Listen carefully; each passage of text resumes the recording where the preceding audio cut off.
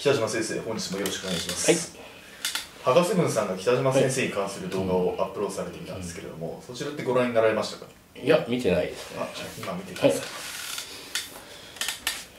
い、はい。おすごいかも私のように北島先生の動画見ていました。多分彼のチャンネルの動画全部見たと思いますまあ結構彼いい顔出してるし、まあ、全部見てくれたとか本もあの買ってくれたっていう話を聞いたんですけどまあ彼がちょっとその動画内で普段どういうことを言ってるかっていうのを正直ちょっとあんまり見たことない。ちょっともうちょっといろんな動画見させてもらっていいですか、はい、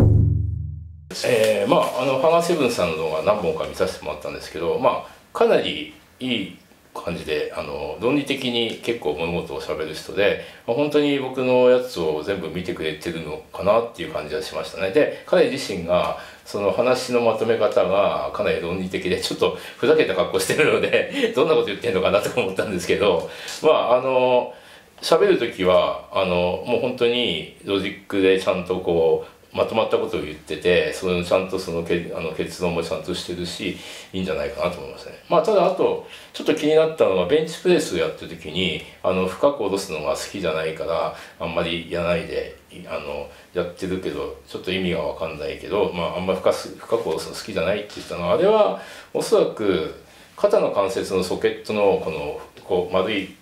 ものが入ってる感じじゃないですかソケットでこれのまあ深さが人によって違うので結構その胸にあのパワーリフティングみたいにこうブリッジしてるは別ですけどある程度フラットな時に胸につく人とつかない人がいて無理やりつけると肩痛める人も結構いるのでおそらく肩肩の関節の構造の違いじゃないかなと思うのであそこはでもでもまあ自分でなんだかんだ言ってその聞く範囲でやってたみたいなのでまあいろいろと考えてやる人なんだなと思いましたね。でちょっと見てて思い出したんですけどもあの昔そういえば僕のところでちょっとあの与えたあのトレーナーがあのハガセブンさんとコラボしたっていう話をそういえば思い出したんですよね。でまああの彼がなんかそう結構伝えたみたいなんですけどただまあ結構まだあのどういうふうに伝わってたっていうのが逆にちょっとあの不安なのでまあもしあれだったら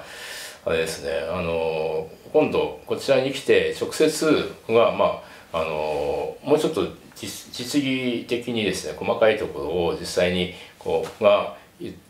て前聞いたこととちょっとちゃんと相違がないかどうかっていうのもちょっと確認したいですしまああともしねその僕の言ってることでちょっと何言ってるか分かんないようなことがあったら直接質問してもらってあのそことかも説明したいのでまああのぜひ一度来てほしいですね。まあ、あとちょっと